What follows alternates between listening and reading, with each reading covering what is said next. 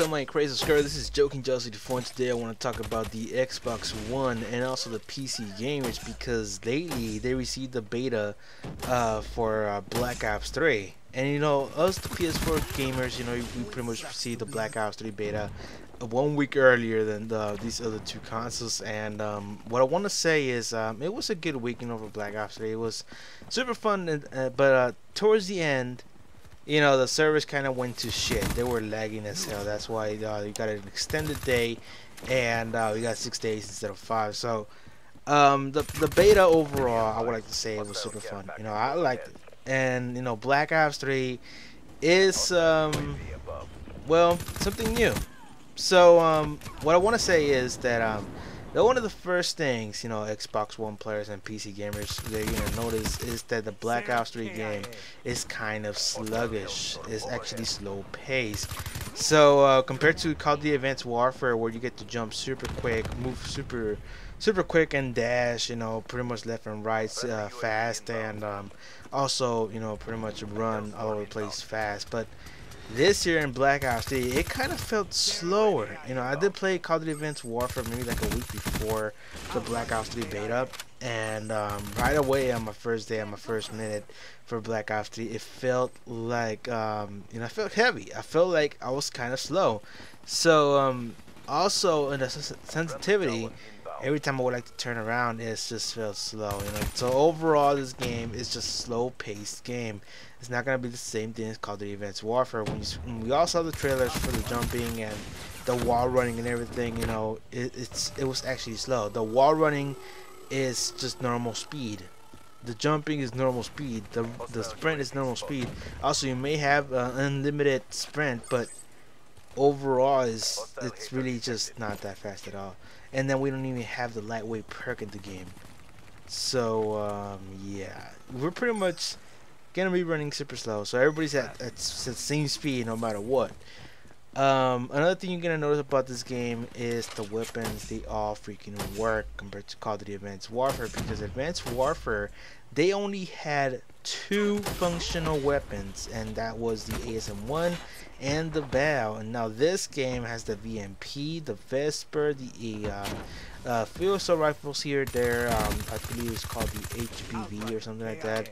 HVB I think it's HVVB I don't have the they move the names all over the goddamn place. Um, they have the Kuda they had you know the shotguns. Shotguns work perfectly too. Um, they have like around another four functional SMGs. I don't know, like it's an all-around game, so you're not really stuck with one assault rifle and one SMG the whole game. You can just move around with, the, with your weapons and customize them as you liking because, you know, in reality, it's just depends on your comfort. You will do good, pretty much. You're not stuck with one weapon like in Call of Duty Advanced Warfare when when when, uh, when what it was only like the the BAL and the ASM-1. So yeah, there's a big difference right there. So, um, so yeah, in the maps, I would like to say they're okay. I mean, they're not, you know, pretty much like awesome. They don't, they're not percent nothing new, but they kind of feel like new. That's it. it's probably because of the, the way the routes are done. Because um, in Black Ops 2, they, these kinds of routes, routes or routes, whatever, um, they seem kind of similar, you know, to the old school uh, maps and they really don't present nothing new to the game, so I would like to say the maps are kind of recycled, but uh, at the same time, you know, it pretty much allows you to play. So um, it's really not that big of a deal. You know, the maps just feel recycled sometimes. So um, another cool feature is that you can actually see your legs. Wow. uh, and also, once you finish your ammo on your gun, you're not actually carrying a wood knife anymore, so you can no longer panic knife like half of the time, unless you equip the knife. Um, you can actually punch out somebody.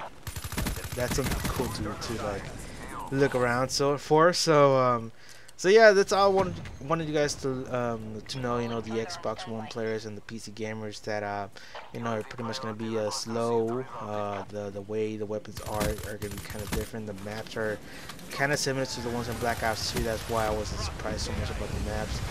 Um, the wall running, you know, is nothing new. It's really just regular speed. I thought it was gonna be faster or something. Because um, a long time ago, I remember YouTubers talking about, oh, you gotta do combo speeds.